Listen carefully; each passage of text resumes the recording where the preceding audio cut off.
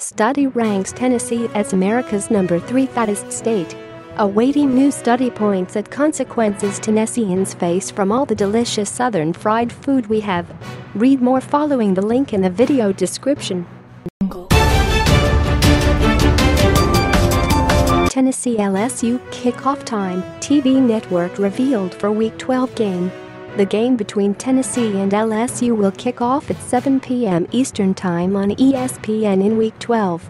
The game details were finalized by the SEC on Saturday evening following Week 11 games. Read more following the link in the video description. Mysterious American flag carries powerful message for small Tennessee town. Paris, Tennessee. It's been a tireless, months-long journey for retired boxer Neely Owens. Read more following the link in the video description. Tennessee State coach Ford on Coos Graham, you really can't guard him. After putting up stellar statistics that did not officially count during Coos' three exhibition games, Kansas point guard Devonte Graham finally got his senior season off and running on Friday night and nearly recorded a triple-double in the process. Read more following the link in the video description.